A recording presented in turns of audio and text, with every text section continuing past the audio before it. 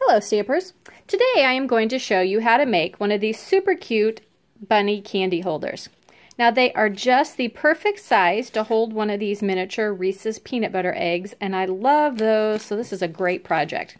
Okay, this is all the supplies that we're going to need to make it. So are you ready to get started? Alright, let's clear off our spot here and we'll get started. So we are just going to start with one of our 3x3 Stampin' Up! envelopes, okay? You are going to take your scissors and you are just barely going to cut off the end where the flap is, okay? So you see I just cut off a sliver and then when you turn it over you can see you've got the open envelope, okay? We're going to put him aside. Then what we're going to do is we're going to take one of our or not one of our, but we're going to take our extra wide oval punch and some Whisper White cardstock. And we are going to punch out two of these for the ears. Okay? Then we're going to take our large oval and some pink pirouette cardstock and we're going to punch out again two of these for the ears. Okay, now I am going to use liquid Tombow glue, the multi-purpose glue just because I find it easy, easier to work with for the pom-poms and also for the eyes. Okay, now when I put this on here, I'm going to go all the way down to the bottom and then try to center it in the rest. Okay, there is one. And there is our second ear.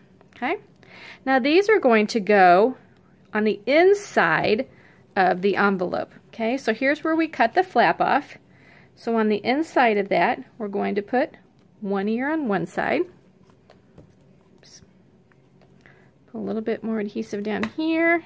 We're going to open that and flip the other one just inside there. Okay, and you got just a couple minutes there to play with it a little bit. Perfect. Now we're going to take two of our Google Eyes and we're going to adhere them also with our Tombow glue.